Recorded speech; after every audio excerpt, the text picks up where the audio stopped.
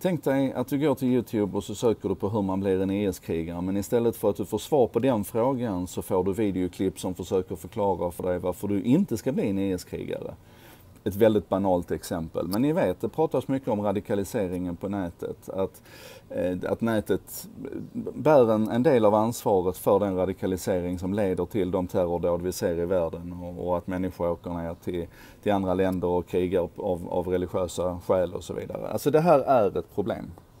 Eh, Youtube, Google, Facebook, Twitter, alla de stora har förbundit sig att försöka ta ansvar för det här nu precis på samma sätt som man gjorde i arbetet mot barnporr för ett antal år sedan och, och ganska framgångsrikt faktiskt.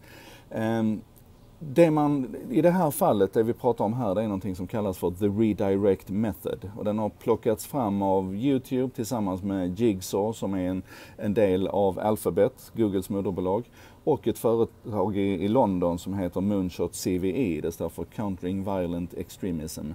Och det Moonshot CV har gjort är att egentligen svara för de här listorna med, med sökord och fraser. Vad är det man letar efter när man riskerar och när man är i farozonen för att bli radikaliserad? Jigsaw har byggt algoritmerna och Youtube har tagit det här nu och implementerat det på sin plattform, sin videoplattform.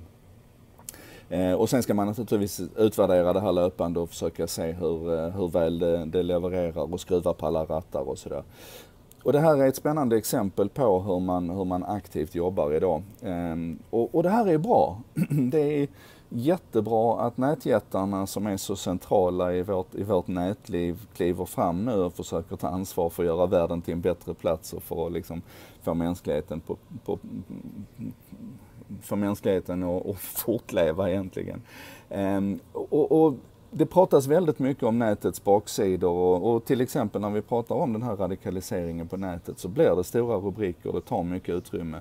Och då tror jag det är viktigt att vi, att vi pratar om att det faktiskt pågår ett arbete för att försöka göra det här annorlunda också.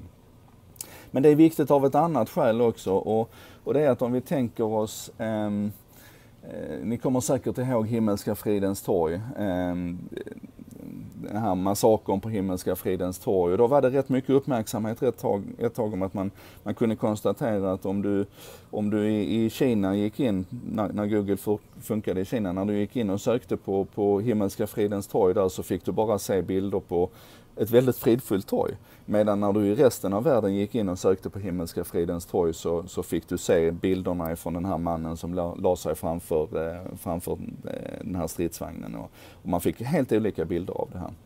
Och, och så är det. Eh, vi lever idag i en, i en global värld med ett globalt internet men vi har fortfarande en massa nationell och regional kontroll över innehållet. Eh, det här har man sett ganska tydligt på senare tid där, där nationella domstolar går in och ställer krav på att Google eller Facebook ska göra på ett visst sätt, att visst material måste plockas bort.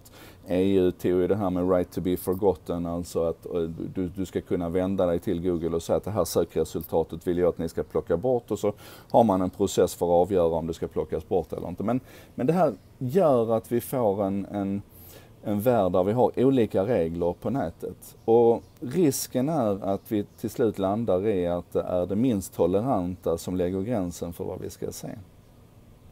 Jag kommer ihåg när jag jobbade i Helsingborg som internetchef till exempel så ropades det ganska högljutt om att vi i skolorna skulle censurera egentligen. Alltså vi skulle begränsa tillgången till vissa tjänster. Jag tror det var ask.com till exempel som var väldigt mycket på tapeten då.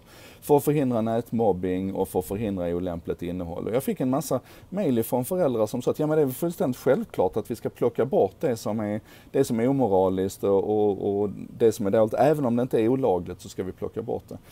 Om man då tittar på en mångkulturell klass där vi har elever ifrån hela världen så kan vi enkelt konstatera att, att om, man, om man tar de, de kulturella värderingarna som finns där så skulle vi i praktiken behöva plocka bort allt. Är ni med på hur jag menar? Och det här är ett problem. Så din uppgift idag det är att, att utifrån det jag har berättat här nu om, om baserat på the redirect method så vill jag att du ska fundera på ett, ett Sverige där regering, riksdag och domstolar domineras av Sverigedemokraternas politik och vad det då skulle betyda för nätet. Eller tänk dig ett, ett USA där Trump har gått ännu mer galen än vad han är nu. Vad det kommer att påverka, eller för att alla ska kunna vara med och leka. Tänk dig att Kim Jong-Un, Nordkoreas diktator, styr i Sverige på samma sätt som man gör i Nordkorea. Vilka av dina sökningar tror du hade fastnat i the redirect method?